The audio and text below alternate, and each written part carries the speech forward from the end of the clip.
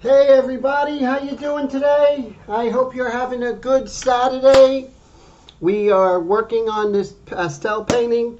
We're just going to continue today for a real solid hour, so it's going to be a lot of fun. We're just going to continue developing this technique of doing an India ink underpainting and going over it with pastel to create amazing color.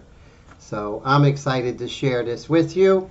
And let's see who we have here today. So John, how you doing? John Payne from upstate New York. And we have the nameless subscriber. How are you? From Cali. It's good to see you. Hope everyone is having a uh, very good week. I kind of uh, cut it close today. I had to get coffee creamer, had none, and was not going to deal with Sunday without coffee. So that wasn't happening. So I had to make a run, a mad dash to the supermarket and get that taken care of.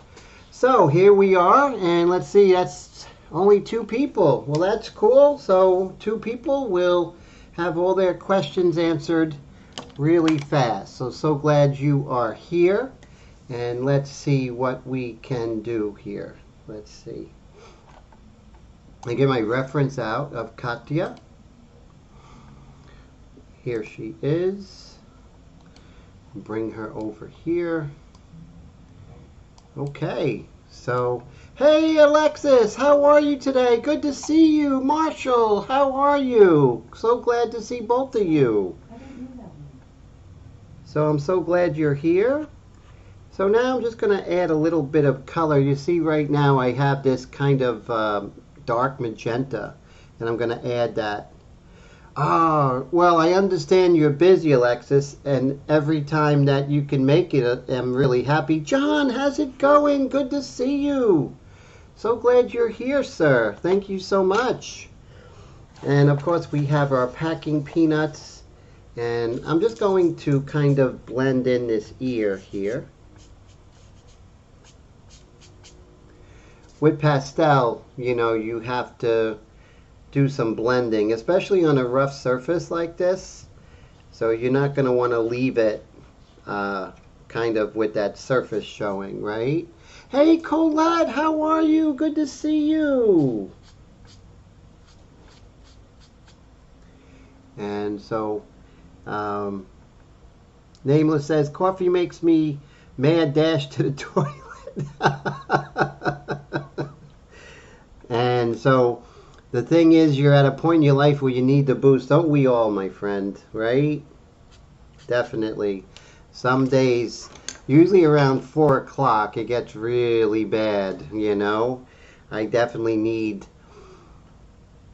uh, a pick me up, you know? Hope I'd rather have a better pick me up than coffee, if you know what I mean.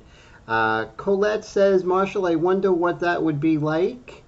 Um, Oh, Marshall says he's trying to get his life together. Uh, I think you're doing great, Marshall. So I, I, I think your life is together.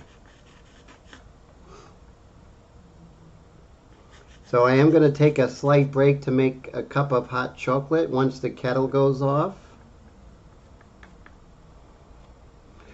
You know what I always do? I always seem to make the eyebrows a little smaller. Always done that. So I have to be conscious, conscious of that. So you see, I always, always do that. Now I can come here and go dark and then lighten them up. So that's no problem. Ah, oh, no problem. You know, we all need positive reinforcements and encouragement. We have to encourage each other. I am going to talk amongst yourselves. I'm going to make my hot chocolate.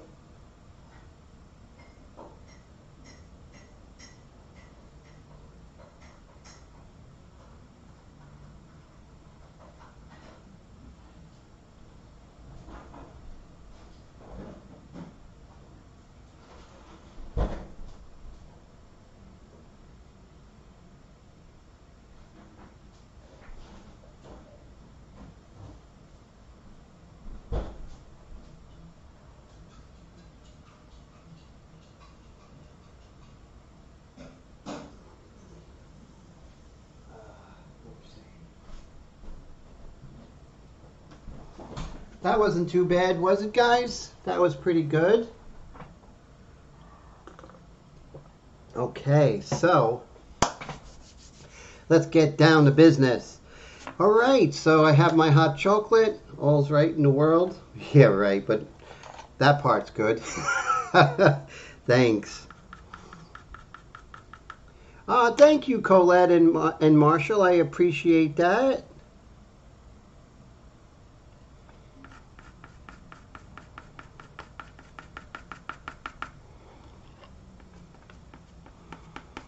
So what I'm going to do is kind of make these uh, little hairs have highlights and make them turn. And get a, I think I need a lighter color. What do you guys think? Maybe a lighter color would be better. There we go. Let's zoom in and show you what I'm doing.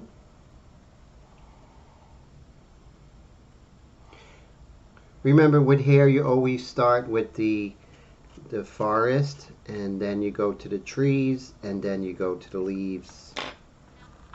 So right now you see I'm just giving some highlight to those hairs. Hey Steve, how you doing? Great to see you, sir. Oh no, you're right on time. So that's great. So today I just finished an airbrush painting, a nude. And then now I'm switching over to pastel. And it's interesting working on two different mediums in the same day. You, it's almost like you have to split your mind. It's almost like speaking two different languages, you know? Those who are bilingual know what I mean. How, you know, you kind of change the way you're thinking. And it's interesting. Hey, Mr. Leahy, how are you, sir? Good to see you. So glad you're here. And we'll just come over here. And so the whole thing about about this is uh, we want to create a sense of playfulness with this. So I'm going to be a little looser because of her pose, right? It's it's young, it's it's energetic. And I want to have that feel about it.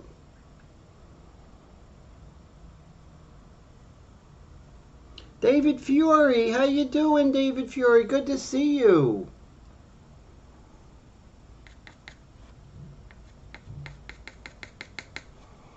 And everything is subject to change. We're just kind of finding ourselves with this painting.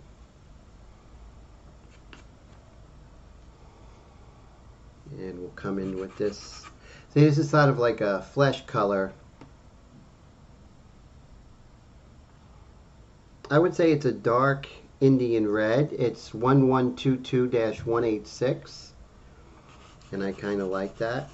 So I'll just come over here and kind of do this half shadow underneath her her chin. And then her sternocleidomastoid. And then let's deepen this. There we go. And ah doing okay David. Always good to see you. So cool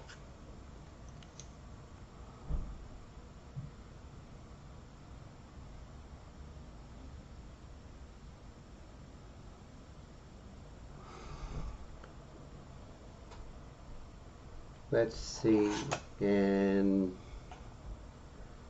come over here.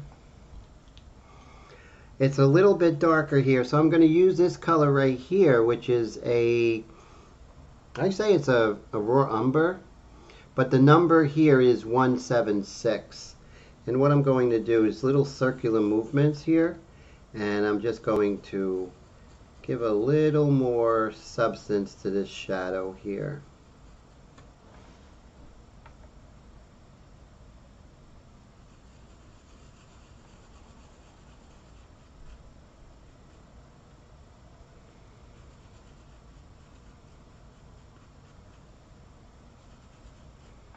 It's darker over here. And it's darker over here. So let's make this happen.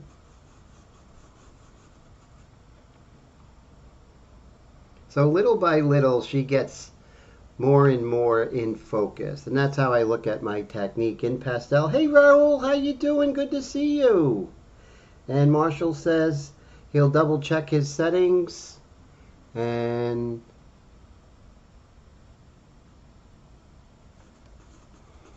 okay, cool.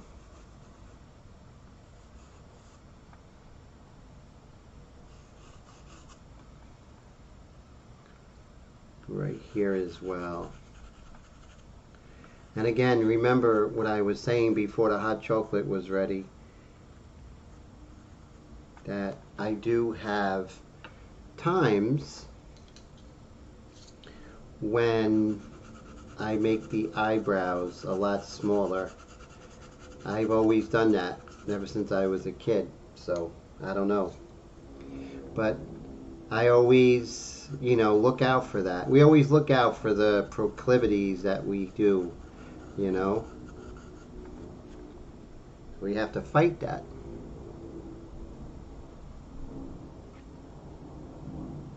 Ah, thank you. I appreciate that, David. Thank you.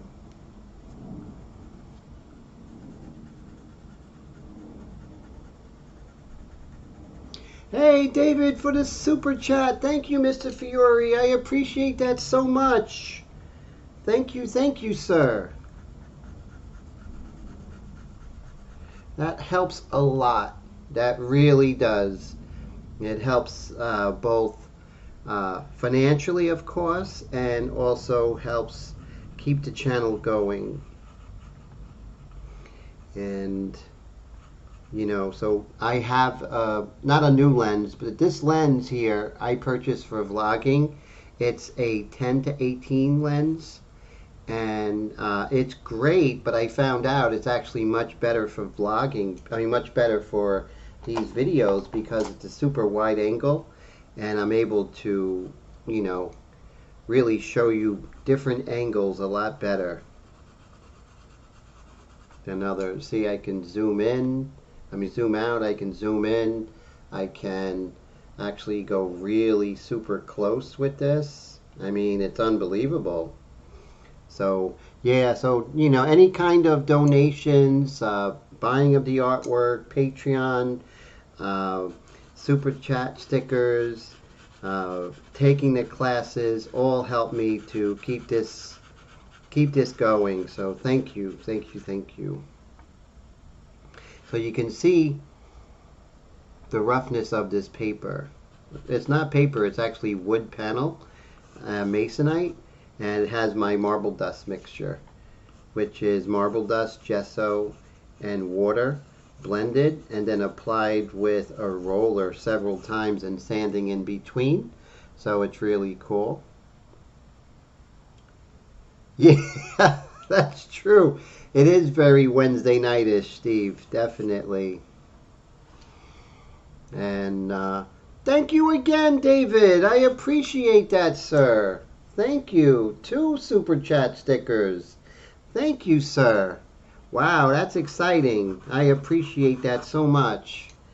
And so uh, I am very encouraged. Thank you, sir. Today's been a very hard day in the studio. Been working on two paintings, getting ready for the live stream, all of that. And uh, it's just, uh, you know, it's great to have encouragement because in the studio we're all by ourselves. You know, at least I am. I live by myself, so um, my encouragement comes from you guys. So I really appreciate that. So right here it's uh, really dark and well not really dark but relatively dark. Right here I'll zoom out. See right here on her sternocleidomastoid here? So we're just going to really pay attention to this right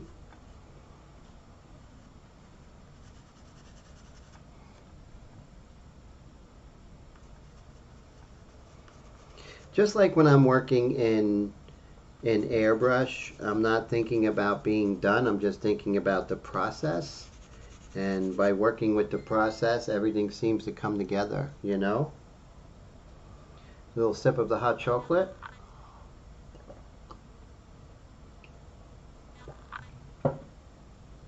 Yes, definitely.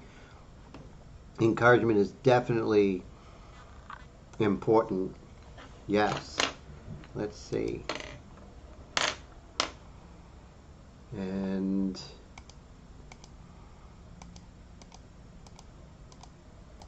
go back to the right screen here.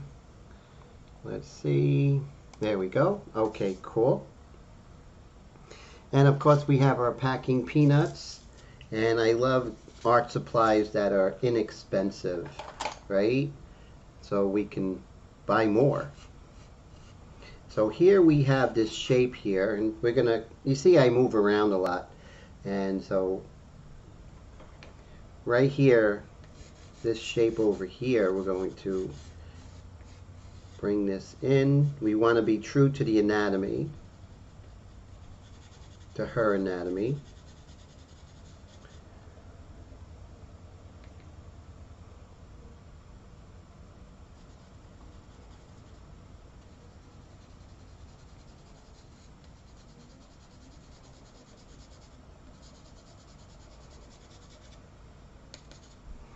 And then here we have a buildup of light. See, because the light is coming from in front of her, above, and slightly to the right. So you can see that her deltoid here is actually, let me move me out of the way. Move me over here. Yeah, so we're working on her deltoid right here.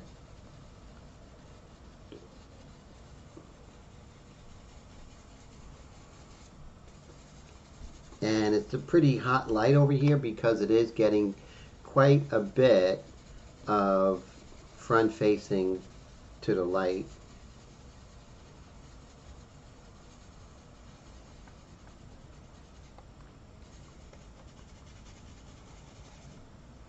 So now I'm just trying to sculpt the light a little bit on her.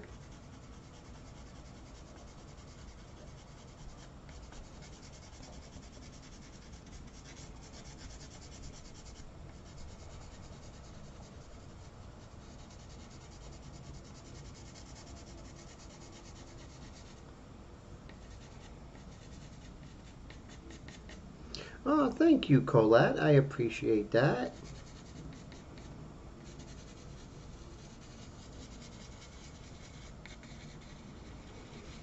And you can see I can use these little circular motion here just to kind of glaze over.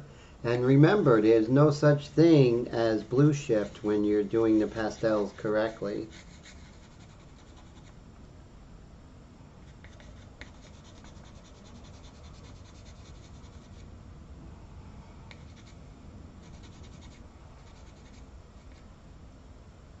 I did. I sketched her out and then I sprayed a, uh, a sepia underpainting. Uh, this one I use a combination of sepia inks and uh, Createx. It was a combination. I actually painted this about two years ago and I never really completed it. So it was still in its uh, underpainting stage.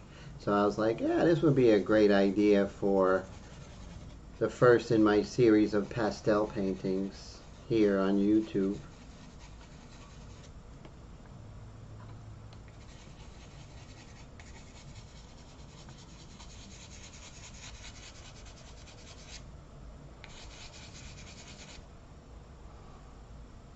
Uh, take care, Marshall. Always a pleasure, my friend.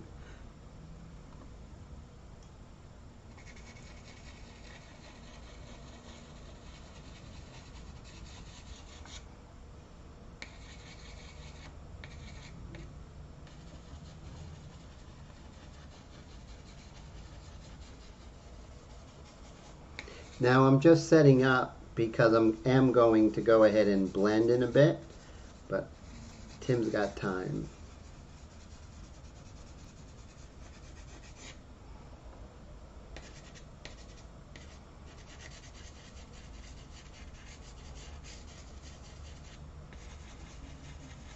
Just circular motions here.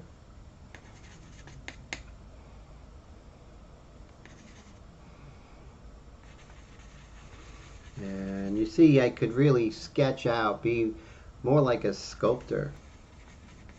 And that's basically what I'm doing.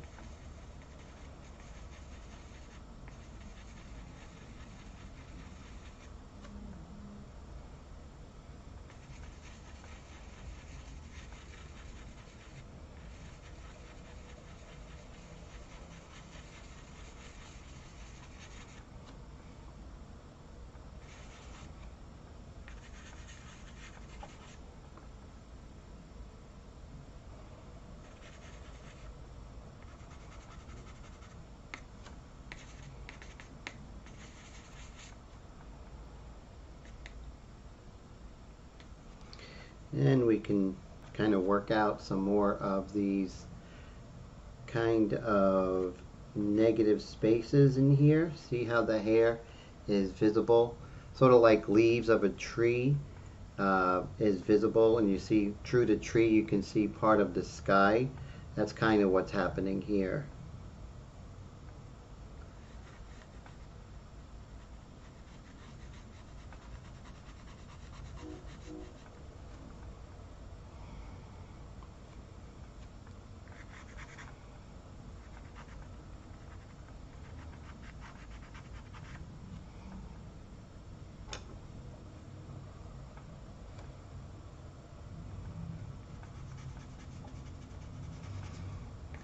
Many times the adjacent shape describes the form even more so than the form itself. So always remember that.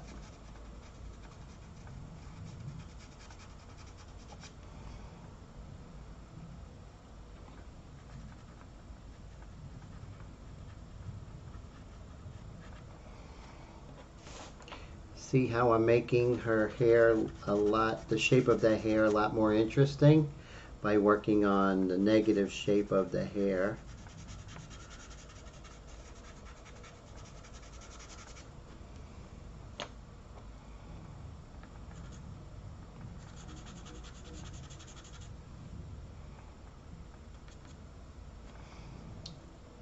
And so now let's look at the nostril here. There's a little bit more. Hey, Jesus, great to see you. How are you, sir? Let's work on her nostril area. Like you see how rough everything's looking? It's going to smooth out, trust me. But we're going to get some layers down before we actually go ahead and uh, do some blending. So I am using Pitt Pastel and Pitt Pastel is a great brand. Uh, there's a 60 piece set for around $100. I do recommend getting that at Amazon. Also, there's a Cretacolor set, and uh, they are right here, Fine Art Pastels, and they are great. They're less expensive. I think they're 72 for around $72, but don't quote me. Uh, so let's see. Ah, doing okay. Thank you, Jesus. I appreciate that. So Dave Fury says, what camera am I using in software for live streaming? Never wavers. It's steady and good. Oh, well, my setup is really uh, very complicated, but I'm happy to share it with you. So the program I use is a program called, uh, what is the program called? SplitCam. SplitCam is free, but it's a little more difficult to master than other other uh, programs. My camera is the Canon SL2. It's a really incredible video camera. I have a Canon EFS 18, um, 10 to 18 lens on that, so that enables me to have the really uh, good uh, good range and then I have a really good tripod that actually has an L, L bracket so I can have this go overhead. Then I have a second camera, which is the Logitech, I believe the 920. And then I have another camera besides that. I actually have several cameras, but lately I've been simplifying it, not going with too many cameras, uh, just for personal preferences. And uh, but yeah, you know, definitely play around with it and tweak things, right? But if you're going to do live stream, it's always best to know the software because that's going to give you much more wiggle room. You know what I mean? So that's very important. And it doesn't really waver because the, the tripod is actually not connected to the table. So even if I moved uh, if I moved the table, it might shake a little bit, but it really is very sturdy. Uh, you know, it's just about about four years ago, I decided. No, about three years ago, I decided that no one was doing live streams, and I was going to concentrate and try and do the best live streams possible. So that's basically how that came to be. Let me get some of my packing peanuts here. Oh, oh. Ah, there we go. Pull this over. Hey, what's up there, Tone? Good to see ya. How are you? So live streaming is an art form in itself because you have to do everything. If you're if you're living by yourself and you're by yourself like me, you have to be technical support. You have to be you have to be the talent. You have to be the sound guy. You have to be the picture guy. So it's really difficult and it can get very discouraging to say the least. Ah, glad you're working hard, sir. That's not bad. Uh, as long as you're enjoying working hard, that's all that matters. And I'm going to come in and soften that. But right here, if I want to blend it, but I don't want to uh, I want to keep it on the dark side, I'll just use less pressure. And as I go higher, I want to keep it on the light side, I'll give more pressure. See that? So that worked out really well. And Mr. Mr. John Payne is back. So cool. Raul says curiosity got him. He noticed that the point on the pencils, what sharpener allows you that kind of point without breaking? That is a gift that I got that is the, where's the box? I had the box. Let's see. It is the AFMAT, AF10 I believe. So I think it's the AFMAT, no, AFMAT PS10. You can get that on Amazon. And it's a great one. It really is. I mean, pastel pencils still break, but as far as uh, uh, you know, sharpeners goes, it's fantastic, I have to say.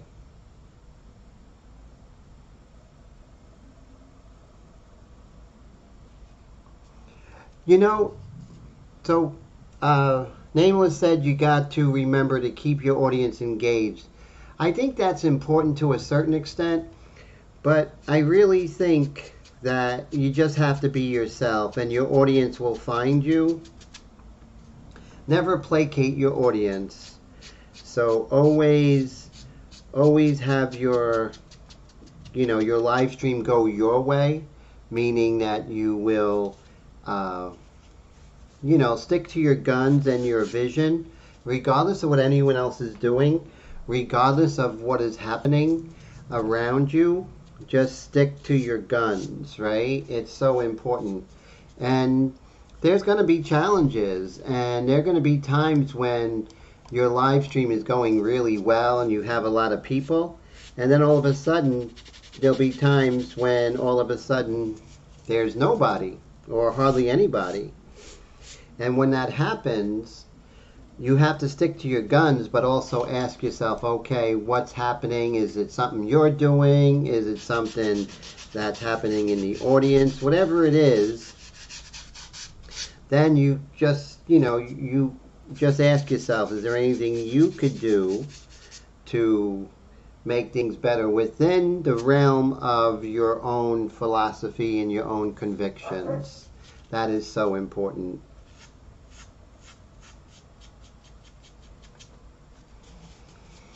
And so you see how. Ah, thanks. So Mr. Payne says everyone to hit the like button. I appreciate that, sir.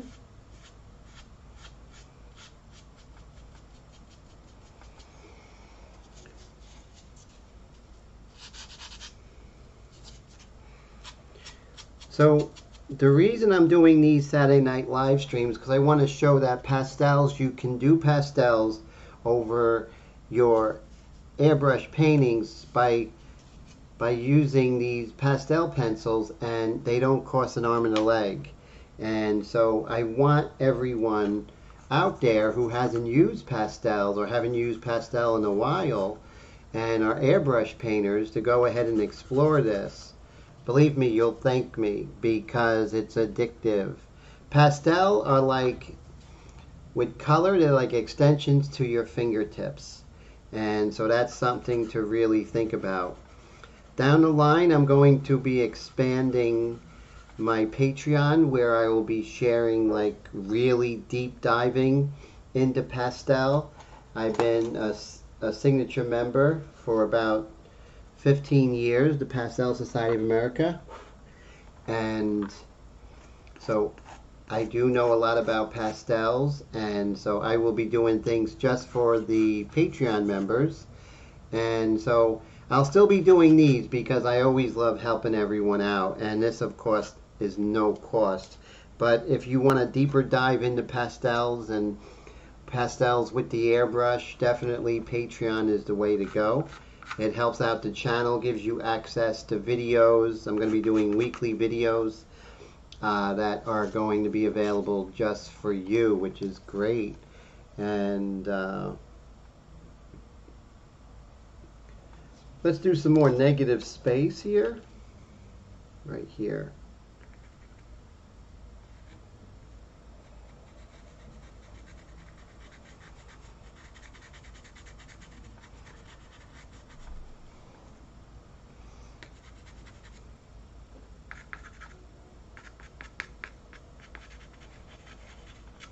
There we go, some negative space. And let's come over here.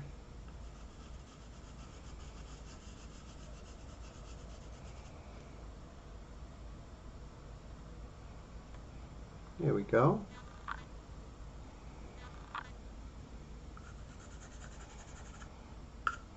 So right here we do have a couple of hairs over here, so let's bring this over.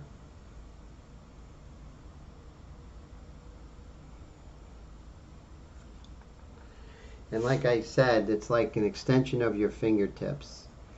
So remember, you're working in color, but you're not using any mediums or liquid. It's just pure pigment with a little bit of binder. So if you ask me, it's the purest form of painting. Oh, hey Colette, thank you so much for the super chat. I appreciate that. Wow, thank you. Thank you so much for your support and encouragement, Colette. It means the world to me. I just want you to know. And so I'm excited. And I'm excited to uh, go back into pastel publicly. Uh, it's been kind of under the radar lately. I just wanted to get established as an airbrush artist for the past, I would say, five years. So the pastels have been on the DL, even though I've been painting in pastels for over 30 years. So, but, you know, it's like Rocky, you know, you, you know, you fight with the left hand, but all of a sudden you can hit them with the left and, you know, so you always want to, here's something that is a good thing. So for those of you out there who are artists, and I know most of you are, and you're developing and learning how to be a painter, one of the things is I want you to think about how will you differentiate yourself? right? Think about it. What are what is it about you that you can differentiate yourself from other artists? And this is a personal decision, right? And this is something that um, I tell my students as well. You know, what what do you bring to the table that nobody else can? Whether it's, you know, what you did in your career before you started painting, uh, could be your favorite colors, it could be your nationality, it could be a lot of different things. And I think it's important to to explore that because I mean that's our identity, right? And your painting is part an extension of your identity. So you definitely want to ask yourself that. And that's something I always ask myself. You know, what do I do as an artist to make me stand out, right? And and that's a personal decision and and that's part of your convictions and everything. So we don't want to be carbon copies of anybody, even if we admire them. We still want to do their own thing. I studied with Harvey Dinnerstein, the most amazing painter ever. And I was going down the road where I was like a junior Harvey. You know, my work was very much like his, and, you know, I was a scholarship student doing very well in his class for three years. And then I decided that, you know, I don't want to be Harvey, I want to be me. And so I started going my own way. And that was crucial. It was so important for me to do that. And it made all the difference. And it would have been an easier road to follow Harvey's footsteps steps because he was I was his number one student, I know that, at the National Academy at the time. But I also know that it would have been an easy route to just follow along and just go along that route. But the right road is oftentimes not the easiest. So remember that. You know, you only get one go round. And you definitely want to paint for yourself. And that's really so important. I love Harvey. Harvey is amazing. He's my mentor uh, in my life, and uh, just totally amazing artist. And every day, I am affected and influenced by his teachings, and I am blessed to ever be called his student. But I did make the decision to go my own route and to follow my own voice. You know. Uh, Harvey Dinnerstein, D I N N E R S T E I N. I'm going to use the little boys' room. I'll be right back, guys. Talk amongst yourselves.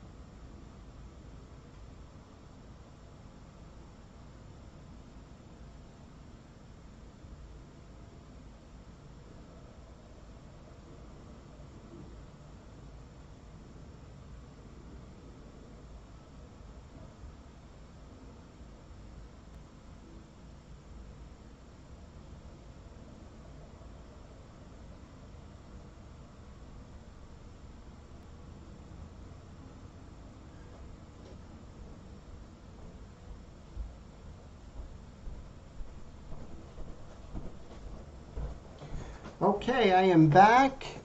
And so let's see. Unity is strength. How you doing? Good to see you. How are you today? So we were talking about um,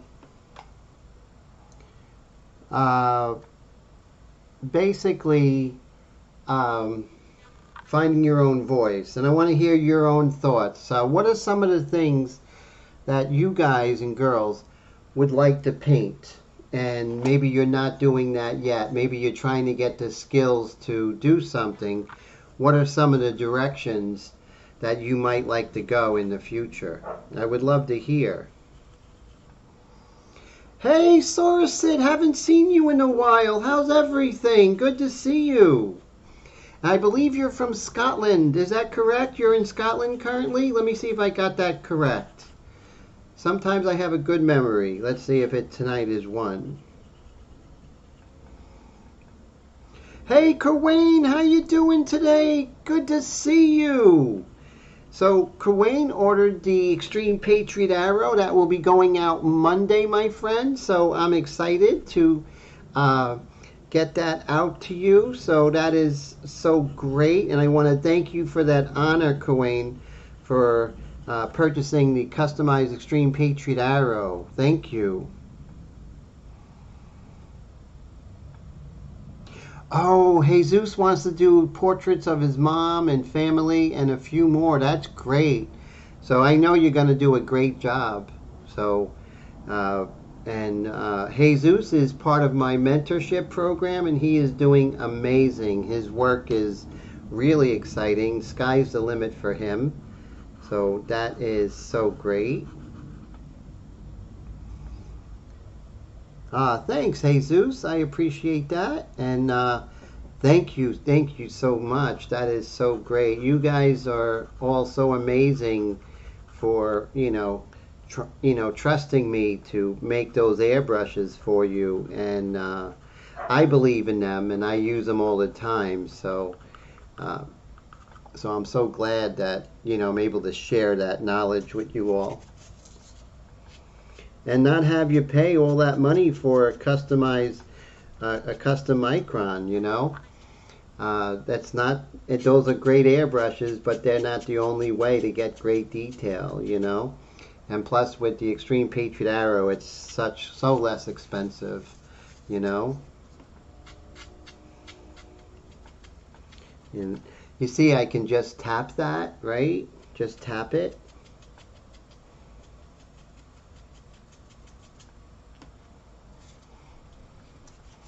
And these are inexpensive, so you throw them away, you get another one. Because you never want to use one over and over again, because what happens is you'll just uh, kind of muddy up the surface. And you don't want to do that.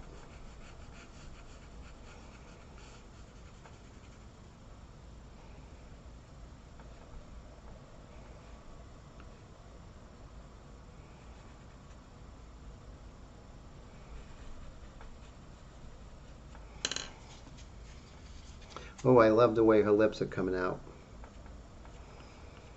I'm getting, I'm putting more strong pigment, even more than I see in the painting.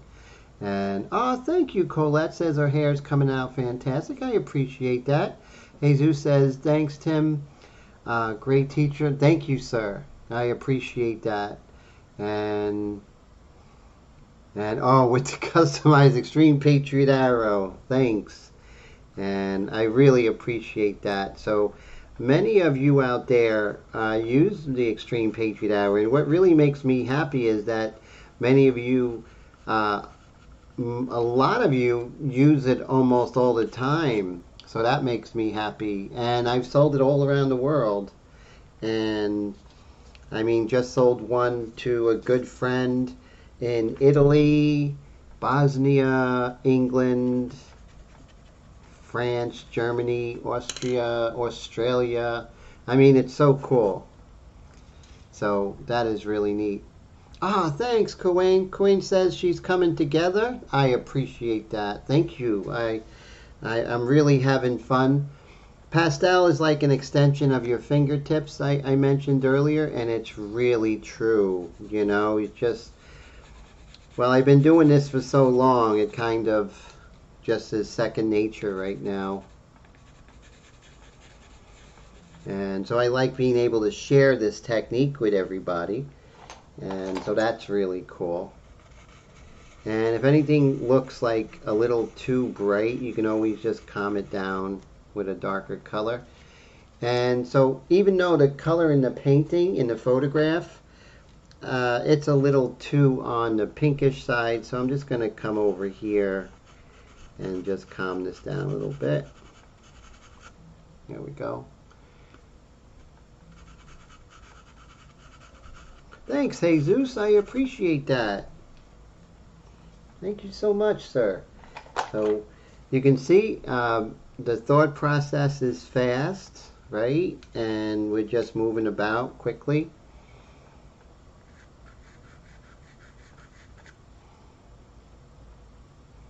And over here. And it's great because you can glaze in all these different colors here.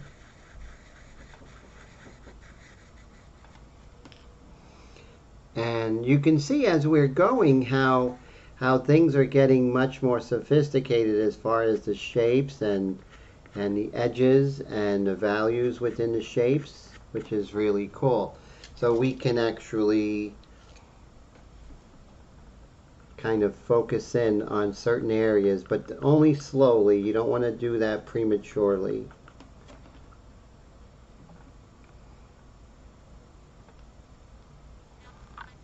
So it's great to see you, Somerset. And Somerset is from Scotland, so that's cool. So I did get it right. So good to see you. Have you been working a lot, Somerset? I haven't seen you in a while.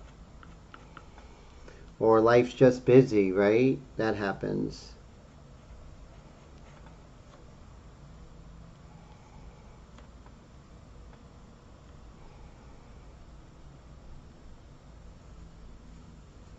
So you see the sternocleidomastoid comes down here. This muscle, very important, goes from behind the ear, comes out, and attaches to the sternum and the clavicle, hence the name sternocleidomastoid.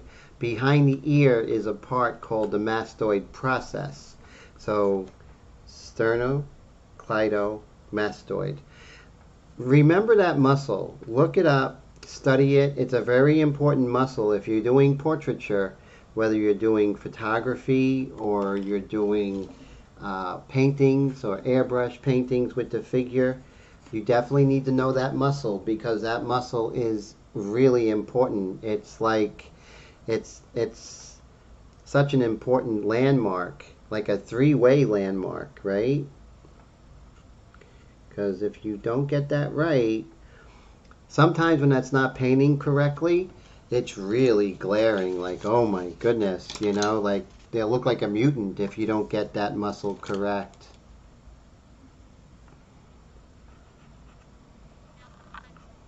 So with the the nude I did earlier, and so I'm kind of in uh, anatomy mode today, for lack of a better term.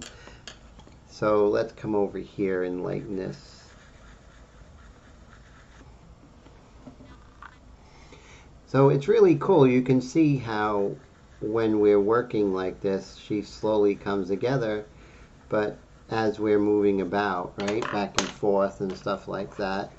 And uh, David says, sorry, had to bring in the groceries. What's going on? You're using a lot of big words. no, you're not a simple person, my friend. Uh, but yeah, well, just basically David discussing, you know, the importance of getting the anatomy correct if you were working with the with the human body, whether portraits or figures, male or female. We really have to at least have a working knowledge of anatomy, and uh, there's no way around it. Uh, we can't trust just our observation, you know. Let me sharpen this my tripod and my flash.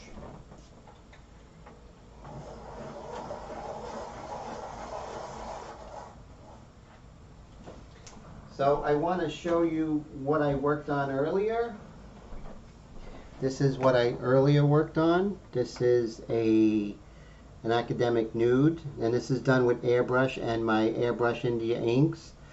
And you can see there's uh, really hard to decipher it from a pencil drawing.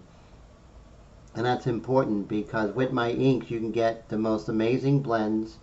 You can get the finest lines. You can see uh, with a reference how big this head is. Look, this is a penny. So that's really tight. So that's what you'll get with the Xtreme Patriot Arrow. So you can expect to have, using the inks in the Xtreme Patriot Arrow, to have detail that you cannot get with anything else. Because it's straight out of the bottle, right? And you have the detail, the light, the medium, and dark mixture, as long as with the white mixture, and it kind of comes together. And the same thinking of me as a pastel painter is how I work as an airbrush artist. It's about efficiency, it's about precision, and uh, so that's those are important considerations when working. So whether you're working in pastel, airbrush, pencil, precision is everything.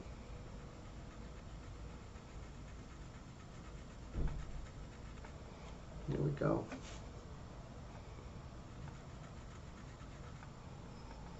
Ah, thank you, Steve. I appreciate that.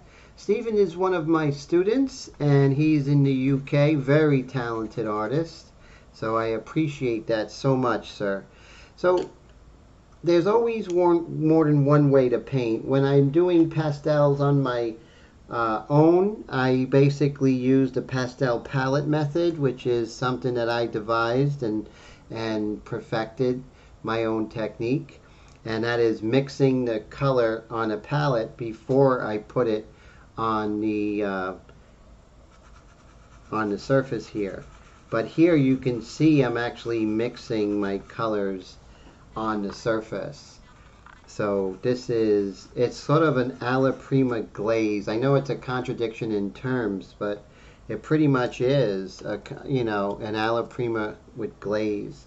So how many out there are interested in uh, continuing to see how I combine airbrush and pastel? Just love a show of hands if you are enjoying this content and let me know just as for my own edification.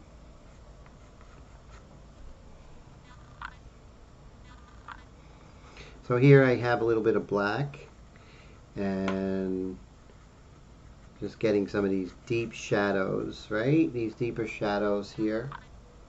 And that's what we want to create. We want to create, oh great, Jesus and, uh, and uh, David and Stephen, cool, thank you so much.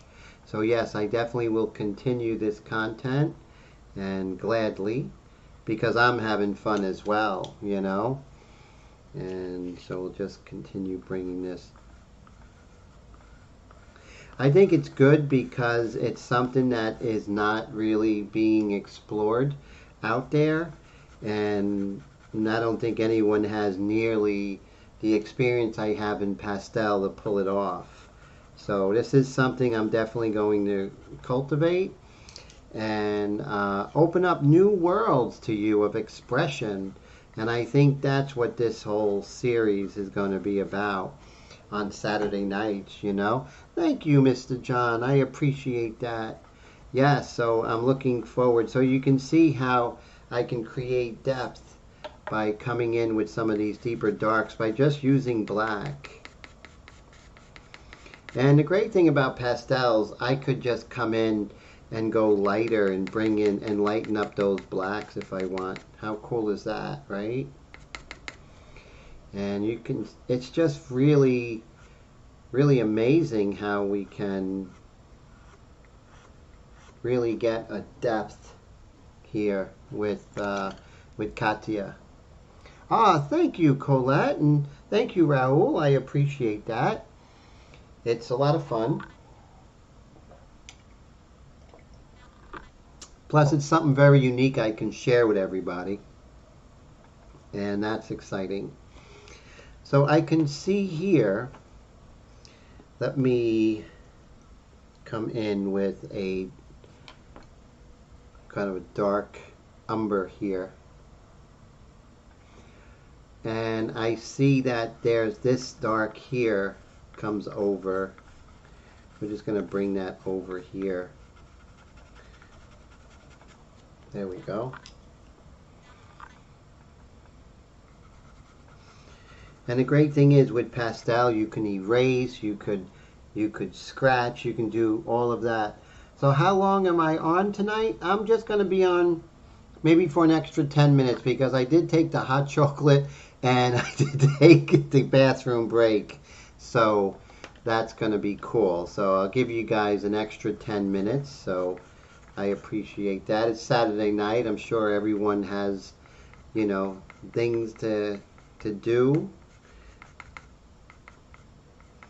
Let's see. So there, this one right here is so we can definitely sculpt out this sculpt out this light here.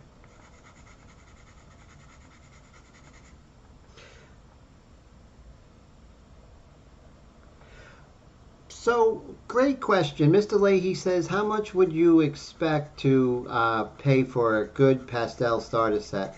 See, that's why I actually started these live streams on Saturday, Steve, because you can get just the Pitt Pastels, the set of 60, and then you could get, and I think that's a $100, and then a good complement would be these Cretacolor ones, right?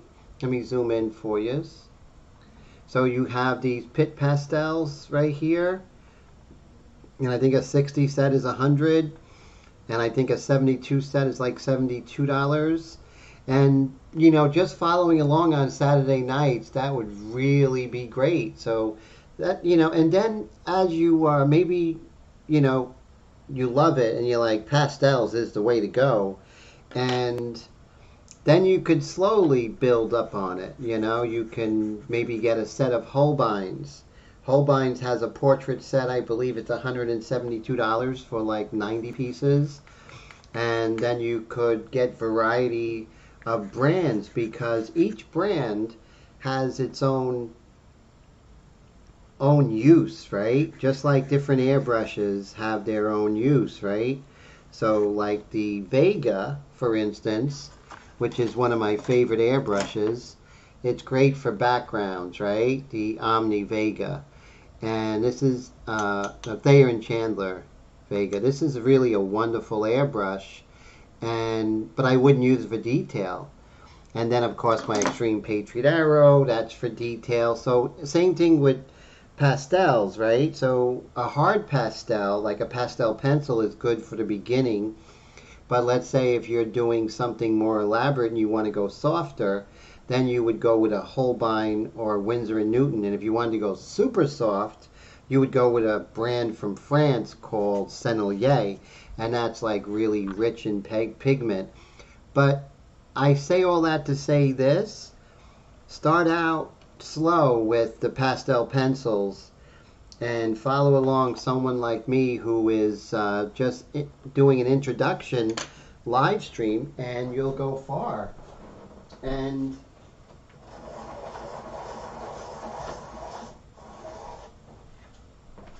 whoop.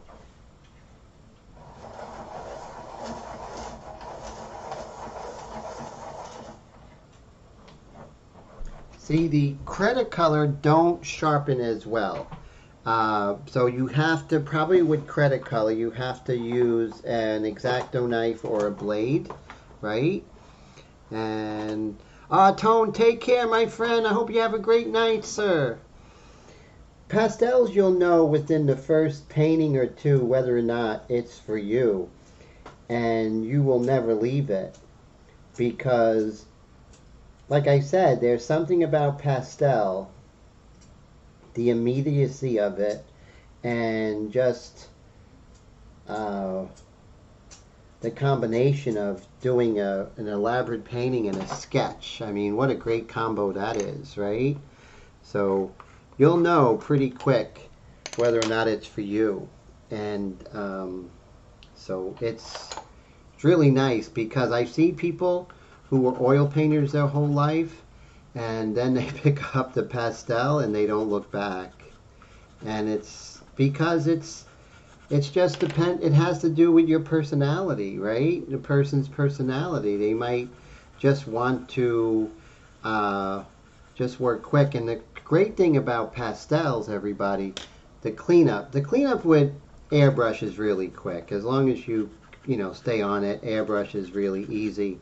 Oils is a pain in the neck. Watercolor is messy, but pastel, you just you put it away. It's so simple. It's it's so easy to do. It's great.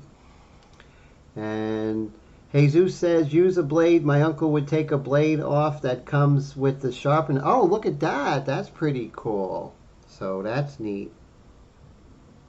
So Watch Guys has um, sculpting the hair, right? So it's not just the the hair, but what's adjacent to it really helps describe the form of the hair. So I'm coming in with this orangey color. And little by little, we're getting Katya here. A very, very, very talented piano player, classical piano. And uh, she does these pieces by Franz Liszt that are just out of this world. And and uh, David says you always use uh, Canson paper even when you use pastel work, or are you using different? Yeah, I won't use the Canson paper for pastel because you need to have a pastel surface that is going to take many layers. It is so crucial. So you can't use anything like Bristol or color line paper or anything like that. You need something with a huge amount of texture. So what I do is I use my own board, and this this is uh, just a hard board that you can get from Dick Blick, right? And they're really inexpensive. It's 11 by 14. I take the uh, gesso, marble dust, and water, and I have my own formula, and I put that together and uh, mix that up and then I apply it several coats and sand it in between. And what you end up with is a surface that actually feels like bone right? Feels like cuttlebone. But the great thing about this surface is that I've never got to the point with my own surface where I ran out of tooth it oh I I've never been like oh I can't put any more pastel on it that's amazing. Pastel companies have not come out with a product like that yet. I talked about Harvey Dinnerstein earlier. This is a formula that goes from generation to generation of student to uh, teacher for generations and generations goes back to France. If I do my artistic lineage of who I studied with, who my teacher studied with, their teacher, goes right back all the way back to like path before the Impressionists goes back to like Ingres, Jacques Louis David, Nicolas Poussin. So that's exciting. So when you study with someone who has an academic uh, training like I do, you're not only studying with them, but you're studying with all their teachers. And if you follow that lineage, my lineage goes back to my favorite artist in the world, which is Jean Auguste Dominique Ingres 19th century French neoclassical painter, his teacher, Jacques Louis David, another neoclassicist, and then the teacher before him, I think, was uh, Boucher, and just keeps going down, down. You know, it's really exciting. So, as you can see, my lineage, I'm not an impressionist, so my work, my lineage does not go there. If my studies went in that direction, you might see me doing a, a an impressionist painting. Uh, Jesus says, now he's talking in tongues. uh, this is actually, uh, you can pick this up. I'm going to show you. So here's a 6 by 6 version. And right here you can see this is hardboard panel This is six by six. I think it's like 90 cents.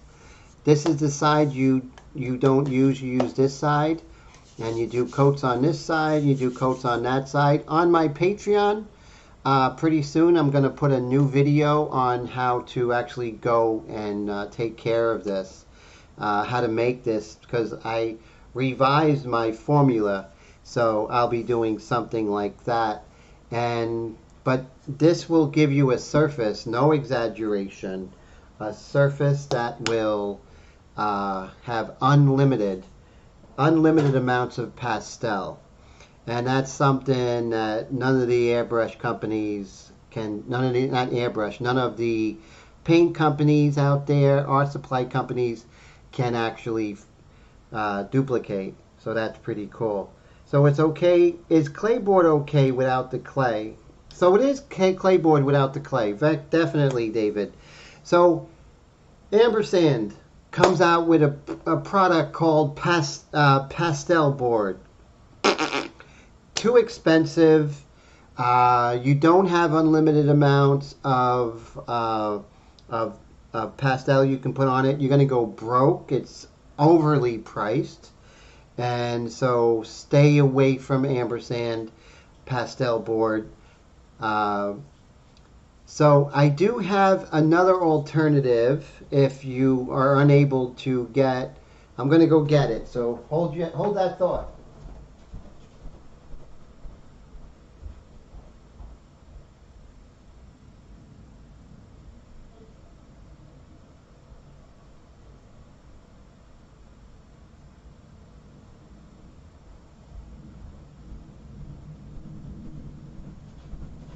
This is the one thing I like by Ampersand. This is called the Value Series. Value Series, I mean, this is like the only value I think they sell. Um, so this is just a, a wood that has an acrylic primer on it. And it's more expensive, but not that much. And you can go ahead and put my marble dust and gesso mixture on this and be just fine. So if you do see that at Hobby Lobby or Michael's, that's a good alternative. But here's another thing. Uh, you can take my marble dust mixture and you can, let me zoom this out. Hi. You can take my marble dust mixture and put it on illustration board like I have here. And I did an airbrush painting on this. So there's you know, my marble dust mixture is not just for pastel painters. It's for airbrush. So, really cool. So, thought I would uh, share that with you. Blick is a great store. Uh, I do miss Pearl. That was great in the day. Those of you who remember Pearl Paint. In New York City, they had eight stories, eight floors of art supplies in New York City, in downtown, which is uh, quite get quite sad about that. You know, oh thanks, Jesus, I appreciate that. You know, so you know definitely you want to make your own surface. Number one, you want to take the money out of the art supply companies. You do not want them to get rich on you. So anything that we can do to stop having them fleece the artists out there, that's what I am all for. Um, I think what we do is is has such great value. Oh, I used to work at the Pearl in Woodbridge. Oh, so cool. That is neat. Yeah, you know, I got turned down. So I applied for the Pearl paint when I was, obviously, I was still at the academy and I applied at Pearl and they turned me down. And then a couple of years ago, I applied to Blick in Paramus and they did not hire me. So I thought that was funny. I mean, I I have sponsorships with many of the brands that they're selling, yet they decided that they did not want to hire me. I thought that was hilarious. But I think when you get older, it's kind of harder to get a job because they're kind of like, why does he need work, you know? And uh, So it is more difficult to get a job as you get older. Jesus says, I, I get to get lots of plywood and, oh, great. Oh, so you get that. Oh, that's fantastic. Yes. Make sure it's thin because what's going to happen if you use, as you know, if it's a big painting, that's going to be one heavy painting. It's actually going to fall off the wall. I learned the hard way. I used to get like real thick wood, but when I framed it, it was like super heavy. I was like, oh no, it was just not practical. So just be weary of that. Wary? Weary? I don't know. But yeah, watch out for that. And so yeah, we're just having a good time painting Katya, you know, it's a lot of fun. And I might continue with Katya maybe or start a new one next week. So every Saturday at 8 o'clock. Oh, you were manager of the framing department. How cool is that? So did you able to uh, frame your own artwork for, for free, I hope? And frame your friend's work? That would have been great.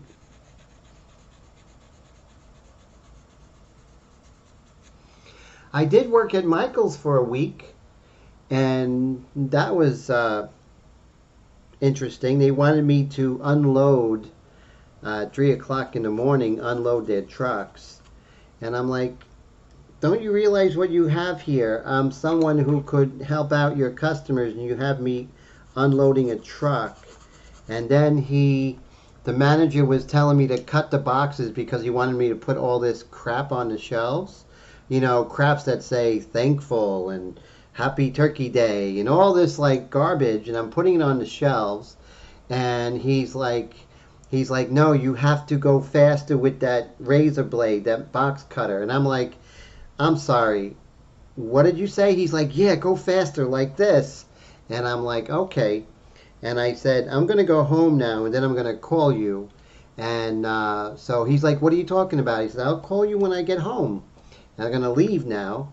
And then when I got home, I was like, I quit. I am not going to cut my hand because you want crap on the shells a couple of minutes faster than me cutting it at a normal rate.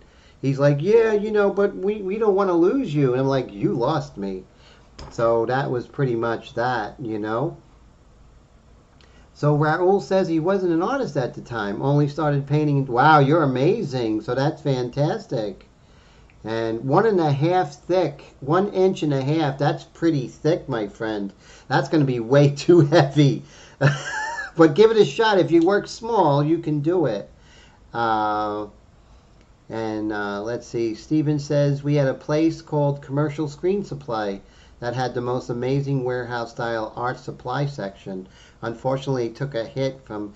Yeah, you know, back in the day, there was. Uh, think there was Saddlebrook Art Supply, which is in Saddlebrook, New Jersey, and that was such a great place. But when I was 14, I lived in Astoria, 14, 15, 16. I lived in New York City. And on the main road, Steinway Street, was a frame shop. And that's where I got all my art supplies. And it was this uh, older gentleman worked there and this young woman. Well, I was 14. Everybody was old at that time. But and I got all my Walter Foster books from there and my first set of art supplies and ink pens and all of that. And we always remember, you know, okay, so we love Blick and everything, but they did really kill the small art stores. And that's a shame. And hopefully that will come back because I don't know where I would be if I didn't have the small art store and those people who worked there that encouraged me and I remember when I was sick and in the hospital, they actually, you know, gave art supplies to my family to help me get back on my, you know, help me, encourage me to get back on my feet. So you're not going to get that from Blick, that's for sure. And so I understand what you're saying, Steve. And the shop up here where ours is, a young kid got his three fingers chopped. Oh my God! How did he get his fingers uh, chopped off? The online markets are ruining everything. Don't get me wrong, I shop online for everything. I love to shop in person. You know, it's a double-edged sword, right? You know, Jeff Bezos. I used to work for him, but you know, what's his motivation? Is it really to help the world? I don't think so. With his uh, phallic-shaped rocket, you know, I don't think he really is, you know, looking out for anyone except for whatever weird ambition he has. So it's a shame, you know. We need. If I had an art store that was right by my house, I would go there, but I don't, you know. But it's too late now. It's over, and um, you know, and now with the pandemic, and you know, is it over? Is it coming back? Those are questions that you know we have to ask ourselves.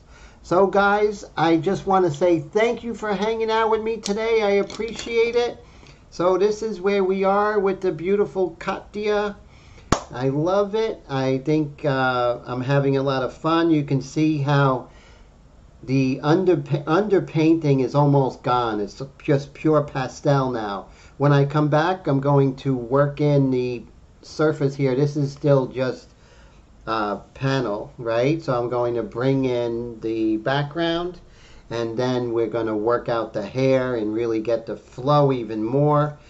We're pretty close to being completed with her, right? And, you know, once we work on the hair and everything, so lots and lots of fun. Thank you guys. I really appreciate you all. Thank you for the super chats, uh, the super stickers. You guys are amazing. And so David and uh, David and uh, who else? Colette and let's see who else gave me. So David twice and Colette. Thank you so much, guys. I really appreciate it. And thank you for hanging out with me. This was a very successful live stream. Thank you, Mr. Steve. Thank you, John. Great to see you guys.